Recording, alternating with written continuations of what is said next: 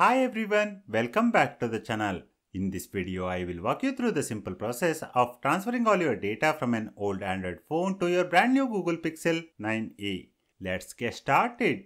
First thing first, power on your Pixel 9a. Once it is ready, head into Main Settings. Scroll down a bit and select Backup or Copy Data. From there, choose Copy Data using Android Switch. You will see a quick overview. Just tap Start. Next, you will need to tell your Pixel what kind of device you are copying from, Android or iPhone. Since I am transferring from my Galaxy S25, I will select Pixel or Android device. On my Galaxy S25, I immediately see a prompt asking to copy data to Pixel 9a. If you don't see this, no worries. Just open your camera app on your old phone and scan the QR code displayed on your new Pixel. Tap the link that appears.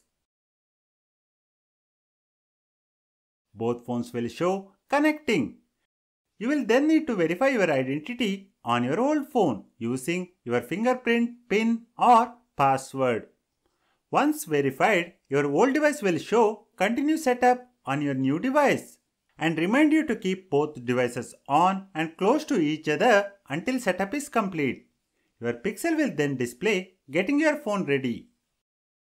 Give it a moment or so while the Pixel prepares. After a short wait, your Pixel will prompt copy data from your Android device. Now you will choose how you want to copy your data. You have two options, Express and Customize. Express will transfer only data that isn't synced to your Google account. This is a quick option if most of your important data is already in the cloud. Customize gives you granular control. I'm going to choose Customize and then tap Next. This will show you a list of all transferable data, which includes apps, contacts, photos and videos, music and other audio, messages, device settings like Wi-Fi passwords, and call history.